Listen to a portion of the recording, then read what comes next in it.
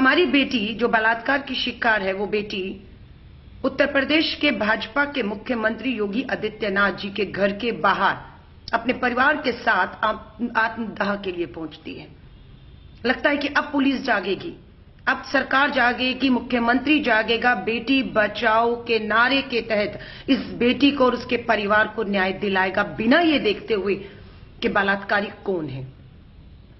लेकिन उल्टा होता यह है कि 8 तारीख को मुख्यमंत्री आवास से इस पूरे परिवार को उठा के पुलिस स्टेशन ले जाया जाता है। पुलिस स्टेशन में जहाँ पर भाजपा के इस आरोपी बलात्कारी विधायक कुलदीप सिंह सेंगर को होना चाहिए था जेल में, उसकी जगह जिस बेटी का बलात्कार हुआ, उसके पिता को जेल में डाल दिया। थाने में जो है वो कस्टडी में ले लिया। और आज आज 9 तारीख 9 अप्रैल को पता लगता है कि पिता की पुलिस कस्टडी में मौत हो चुकी है। योगी आदित्यनाथ जी, शादी की होती तो पत्नी के रूप में ही एक औरत का सम्मान क्या होता है? शादी की होती योगी आदित्यनाथ जी तो आपकी भी बेटी अगर होती तो बेटी के साथ बलात्कार का दर्द क्या होता है उस पिता का? आप शायद समझ पाते जो आप नहीं समझ पा रहे। देश के प्रधानमंत्री जी, आपकी शादी हुई, लेकिन दुख की बात है आप पिता बनने का सौभाग्य प्राप्त नहीं कर पाए और अगर आपकी बेटी भी होती और उस बेटी के साथ भगवान न करते, ऐसा जघन्य अपराध होता तो उस पिता का दर्द शायद आप समझ पाते, जो आज आप नहीं समझ पा रहे। सिर्फ़ वोट के लिए खोखले नारे सुनते सुनते कान पक गए इन चार सालों में।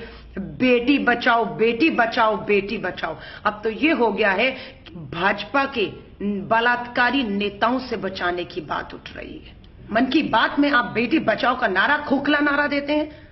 National crime record bureau, Bharat सरकार का गृह मंत्रालय ने जारी की है रिपोर्ट।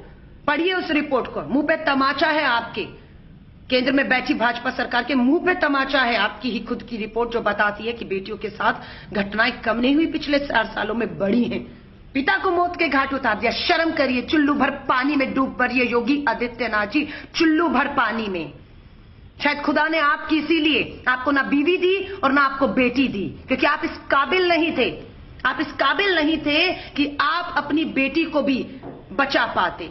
इसलिए खुदा ने आपको बेटी नहीं दी। मैं उत्तर प्रदेश, उन्नाव, लखनऊ के लोगों से कहूँगी, दिल्ली और देश आपकी तरफ़ देख रहा है। ये आपकी और हमारी बेटियाँ हैं, जो सत्ता के इन दलालों की शिकार हो रही हैं।